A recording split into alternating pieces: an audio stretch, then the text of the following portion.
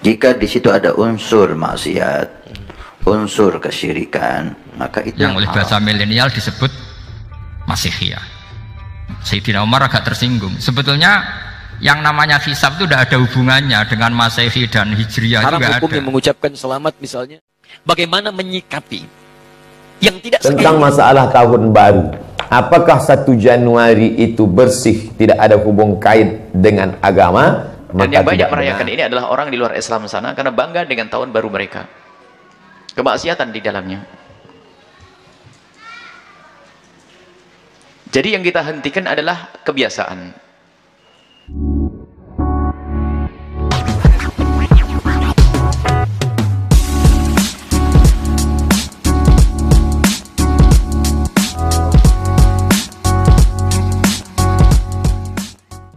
Assalamualaikum warahmatullahi wabarakatuh.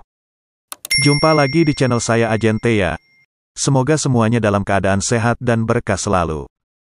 Dalam catatan sejarah kota Yasrib, sebelum berganti nama menjadi Madinah, penduduk kota ini mengikuti agama berhala, seperti yang ada di Mekah.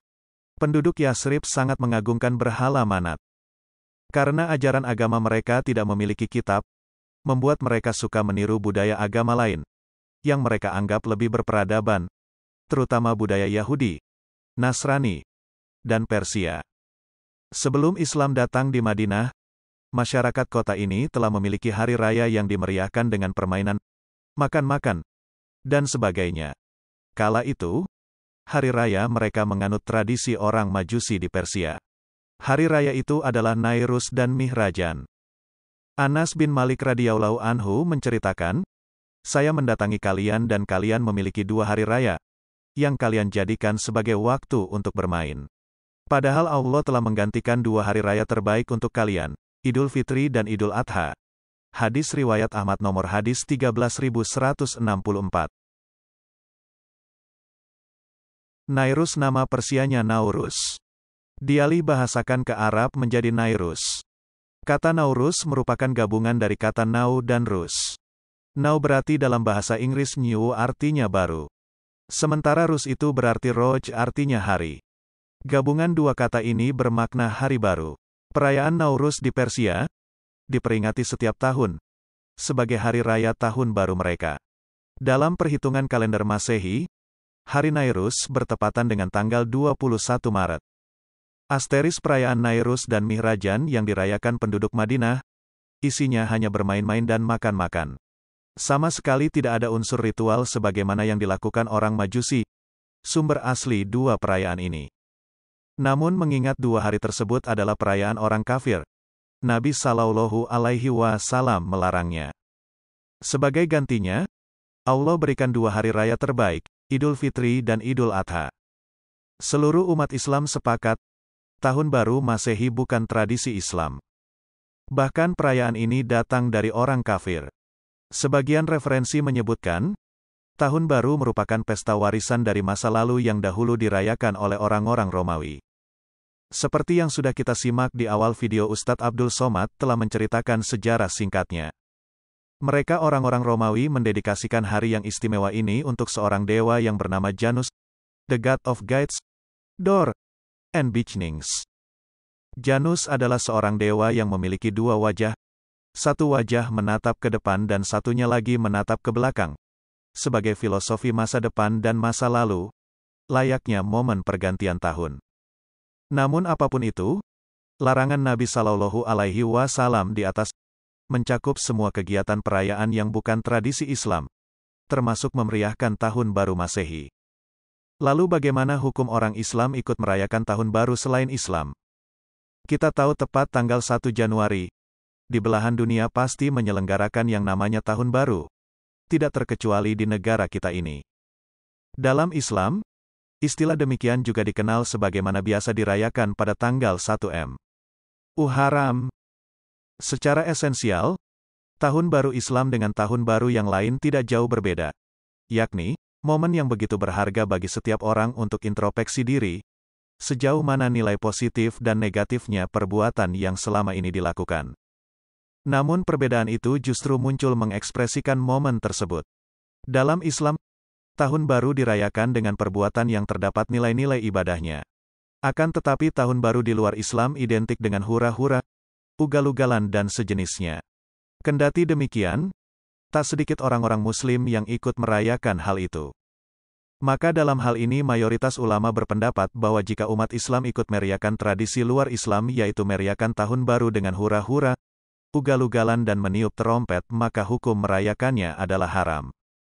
Bukan zat hari dan tahunnya yang haram, tapi tradisi perayaannya.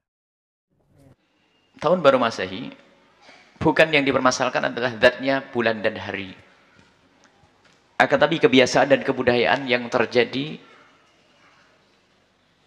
Sebagaimana kita sudah menyimak apa yang telah disampaikan oleh Buya Yahya.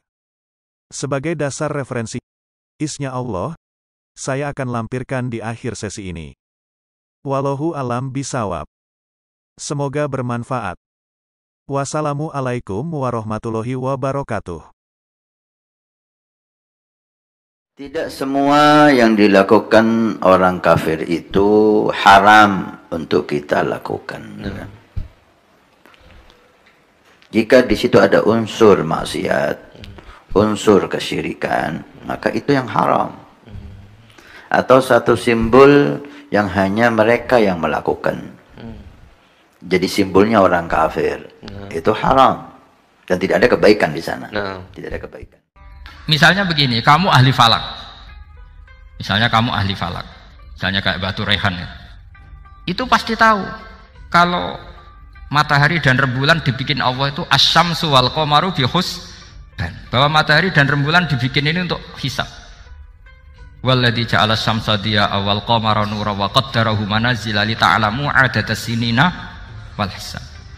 Sehingga ketika ternyata betul samsiah bisa dihitung menjadi tahun samsiah. Yang oleh bahasa milenial disebut Masihiyah. Sayyidina Umar agak tersinggung. Sebetulnya yang namanya hisab itu tidak ada hubungannya dengan Masehi dan Hijriyah itu enggak ada. Semua berdasar matahari atau apa? Rembulan. Lah sialnya yang samsiah ini oleh bahasa internasional disebut apa? Masehiyah.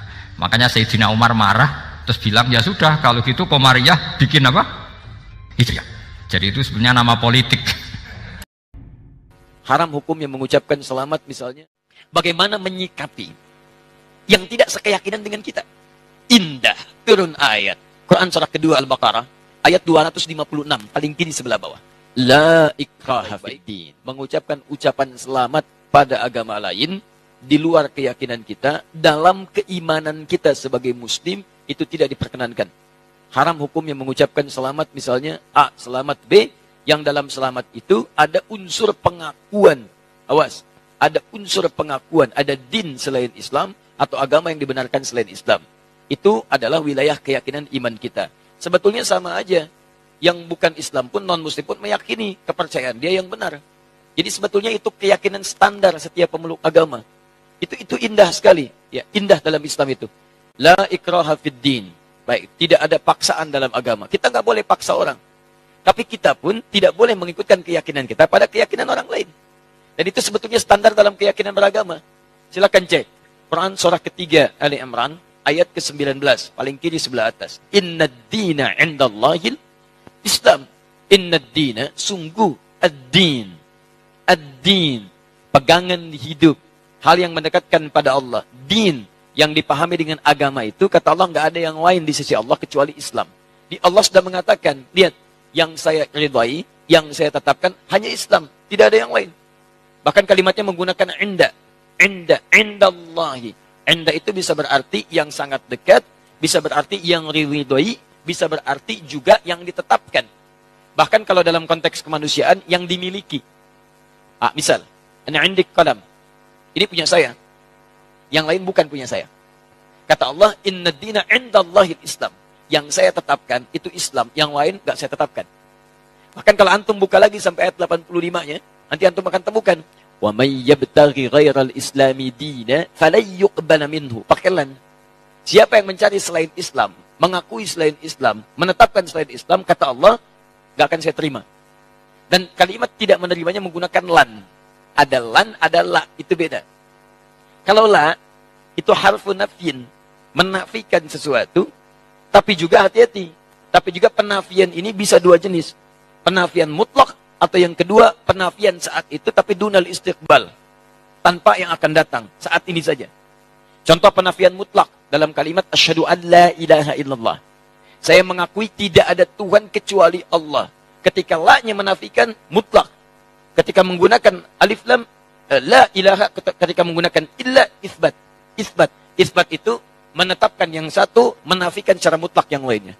Dia katakan asyhadu an la ilaha saya mengakui menyaksikan tidak ada Tuhan sama sekali, mutlak. Tolak.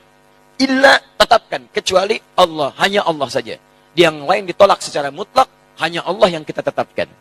Ah, makanya ketika antum bersyahadat mengatakan asyhadu alla ilaha illallah, maka antum hanya menetapkan Allah saja dengan segala hukum yang telah Allah tetapkan dan menolak yang lainnya yang tidak Allah akui. Tentang masalah tahun baru. Apakah 1 Januari itu bersih, tidak ada hubung kait dengan agama? Maka tidak benar. 1 Januari 2018 Masehi seolah-olah Masehi terkait dengan Al-Masih Isa alaihissalam itu kalender dibuat oleh Kaisar Julian dari Romawi kuno Kaisar Julian membuat kalender maka dibuat nama dia Kaisar Julian maka disebut Julian kalender lalu kemudian Julian kalender dibawa ke Vatikan dirobah oleh Kaisar Raja pendeta Paus Vatikan bernama Paus Gregorius. Maka sampai sekarang disebut dia dengan Gregorian Calendar. Lalu kemudian ketika terbentuk PBB United Nation Persatuan Bangsa-Bangsa, bingung mau pakai kalender apa? Di dunia banyak sekali kalender. Maka diseragamkanlah, dipakailah Gregorian Calendar. Yang sebelumnya kita kerajaan kerajaan Pasundan, kerajaan Demak, kerajaan Riau Pura itu pakai kalender Hijriah termasuk Yogyakarta pakai kalender Saka karena Sultan Agung Jawa mengkawinkan antara kalender Jawa dengan kalender Hijriah karena ingin mendamaikan antara Jawa dengan Islam maka setiap menyambut tahun baru Saka sekaligus menyambut tahun baru Hijriah. Kalender Masehi muncul belakangan tidak tepat penisbatannya kepada Al-Masih karena Isa tidak tahu menahu tentang itu. Itu murni diambil oleh Kaisar Gregorius yang diambilnya ke Vatikan menjadi Gregorian kalender. Jadi kita menyatakan tahun baru ah, betul tahun baru tapi tahun baru Romawi tahun baru Romawi jangan kaitkan kepada Isa alaihissalam dia masih terkait adapun tahun baru Jepang tak ada terkait dengan akidah Nah ini tahun uh, kalender yang baru. Tidak meyakini bahwa dengan kalender yang baru ini nasib berubah menjadi baru. Siapa yang asap malam itu paling banyak mengepul ke atas, maka rezekinya yang paling murah. Lalu membakar ayam sampai 2000 ekor. Nah, oleh sebab itu saya anjurkan anak-anak muda, remaja-remaja masjid tanggal 31 malam tanggal 1 setiap masjid semuanya buat kajian iktikaf zikir muhasabah supaya jangan keluyuran ke sana kemari. Hanya dua saja anak-anak muda pergi ke masjid mulai jam 10, jam 11, jam 12, jam 1, jam 2 atau habis isya tidur. Tahun baru Masehi bukan yang dipermasalahkan adalah zatnya bulan dan hari. Akan tapi kebiasaan dan kebudayaan yang terjadi di tahun baru tersebut. Apa yang dilakukan oleh umat saat itu? Berhura-hura, berfoya-foya, dan yang banyak merayakan ini adalah orang di luar Islam sana karena bangga dengan tahun baru mereka. Kemaksiatan di dalamnya. Jadi yang kita hentikan adalah kebiasaan. Kebiasaan jelek. Sehingga anak Pak Haji dan Bu Haji itu yang niup trompet, setelah itu ada yang mabuk. Sebab di Indonesia itu kaum musliminnya minoritas. Bagaimana kok alun-alun penuh tuh? Sementara orang-orang Nasrani banyak di gereja saat itu. Mereka berdoa dan sebagainya. Apa yang dilakukan oleh anak-anak kaum muslimin saat itu? Berhura-hura, belum tadi setelah itu berantem. Dan enam tahun yang lalu ada yang mati, lihat. Kita tidak melihat tahun-tahun berikutnya. Karena kami yang ingat pada enam tahun yang lalu. Mati, berantem, mabuk dan sebagainya. Jadi mengikuti budaya-budaya kafir, itulah yang tidak diperkenankan.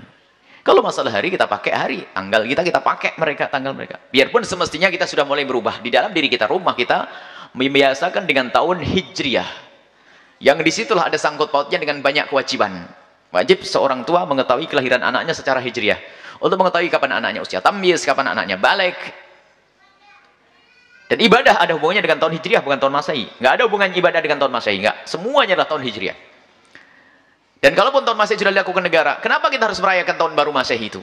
Dengan cara yang tidak dibenarkan itu.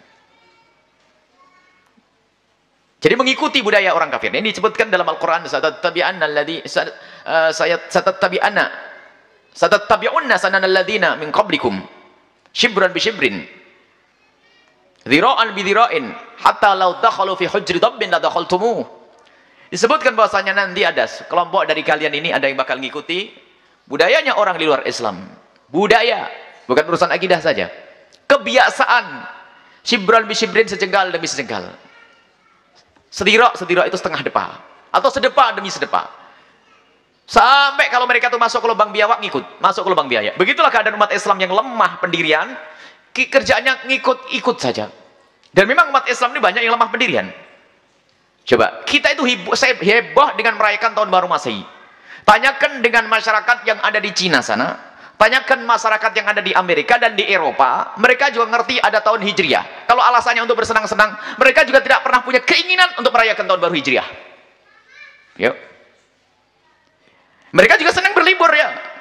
ya. Berlibur senang mereka, akan tapi pun mereka tidak pernah punya kepikiran dan tidak pernah punya keinginan untuk merayakan tahun baru Hijriah. Tapi umat Islam di negeri kita ini habis mulai tahun baru Masehi, nanti tahun baru Cina, nanti tahun baru apalagi, nah habislah. Giliran tahun baru Hijriah, hmm, tidur. Muncul kemunafikan di sini. Hendaknya kita bangga dengan Islam. Itulah yang jadi masalah, jangan dianggap remeh. Yang berbangga dengan tahun baru Masehi, lalu lupa dengan tahun baru Hijriah, munafik nanti. Kenapa tidak kita mengutamakan sesuatu yang sambung dengan Nabi SAW? Permasalahannya adalah tidak sesepele yang disampaikan tadi. Kalau masalah pernah dipakai, kita pakai. Kalau tidak pakai, beda hitungannya nanti. Termasuk pengajian kita keliling, sementara pakai tahun baru, baru Masehi. Kenapa? Karena kalau pakai tahun Hijriah nggak ketemu harinya nanti. Karena apa orang di sana masih tahun Masehi. Tapi kita harus buat perubahan pada suatu ketika nanti. Tapi yang dipermasalahkan adalah ngikuti itu cara dan gayanya orang-orang kafir itu. Mengadakan perayaan. Niup trompet. Trompet apa itu? Ada maknanya peniupan trompet itu. Bukan sekedar ikut-ikutan. Ada makna daripada niup trompet. Belum lagi kumpul laki perempuan yang gak karu-karuan. Masya Allah. Dan memang banyak di antara anak-anak kita tuh datang ke kota itu tidak ada tujuan. Hanya karena tahun baru. Melihat ramenya kok kota. Biarpun ternyata di situ setan juga menarik sehingga ketemu laki-laki dengan perempuan, pacaran dan sebagainya sampai bab zina. Maka perlu kita hentikan dengan bermacam-macam cara. Menghentikan itu bermacam-macam cara. Ada menghentikan jangan kau lakukan. Itu kapan? Jauh-jauh hari. Jangan kamu lakukan. Akan tapi ini adalah di saat banjir itu belum tiba. Di saat banjir belum tiba, kita masih di saat banjir belum tiba, kita masih bisa membuat bendungan. Tapi kalau sudah banjir datang, susah membuat bendungan. Akan tapi hendaknya sekarang kita arahkan. Kita tidak merayakan tahun baru Masehi. Itu daripada anak kumpul di situ kita rubah saja ayo. Dan ini adalah tradisi para salafun soleh dalam merubah masyarakat dengan budaya-budaya yang salah menjadi budaya Islami itu. Mengislamkan budaya.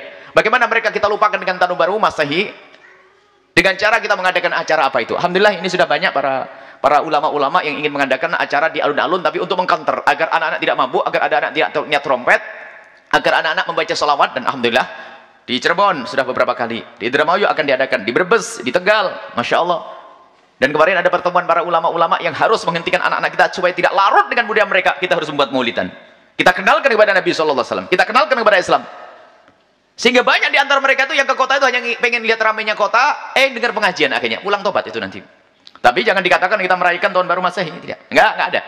Kita tidak merayakan tahun baru Masehi. Akan tapi di malam itu adalah malamnya orang kumpul dan begitulah juru dakwah. Nabi SAW itu mengingat kesempatan, keramaian-keramaian. Dan juga para oh, apa yang saat itu menjadi tren kumpulnya orang itu apa? Termasuk eh, Nabi Muhammad sampai sampai ulama-ulama barisnya, termasuk guru mulia Al Habib Hasan bin Ahmad Baharun itu mengambil kesempatan keramaian. Dulu tuh dalam dakwah beliau salah satu caranya itu adalah jadi tukang foto. Baik, ada ada yang tukang foto ini. Zaman itu paling langka foto. Jadi satu desa itu yang foto satu, nanti yang lihat tetangganya pada lihat semua. Langka foto. Foto itu langka dulu. Beliau ternyata dalam satu kisah hikmah beliau, kecerdasan beliau dalam mengumpulkan orang. Kalau orang suruh ngaji, ngaji, ngaji, nggak mau nggak? Ngaji. Akhirnya tukang foto ini. Selalu fotonya dibawa oleh orang berikutnya, muridnya. Beliau datang dulu, fotonya mana? Foto mana? Ntar dulu datang. Orang kumpul 10 orang, diajari Assalamualaikum. Di tempat kamu lagi begitu. Allah. Dan bawa mic beliau. Bawa mic sendiri Allah. Alhamdulillah dengan ketulusan beliau lihat. Beliau belum lama wafat. Akan tapi keberkahan dirasakan oleh umat. Murid-murid beliau dari mana-mana. Nah, beliau telah memanfaatkan momen kumpulnya orang. Untuk diarahkan kepada Allah. Makanya kita tanggal 31 Desember kita tidak merayakan tahun baru Masehi. Akan tapi kita ingin memberikan pengarahan. Kita arahkan. Kita buat perkumpulan di situ tidak sebut tahun baru Masehi. Akan tapi kita akan merayakan maulid Nabi, baca salawat serta itu. Selesai. Sehingga mereka datang akhirnya sudah ke mulut, ke maulid Nabi. Sebab kalau di rumah saja dibilang keting apa, kuper. Kalau keluar, ah, ada tempat untuk ngaji. Baik, ini jadi permasalahannya jangan dianggap sesepele itu. Akan tapi permasalahan adalah kita itu kagum dengan budayanya orang kafir, ngikuti cara hidupnya orang kafir dan itu adalah kemunafikan dan itu musibah besar di hati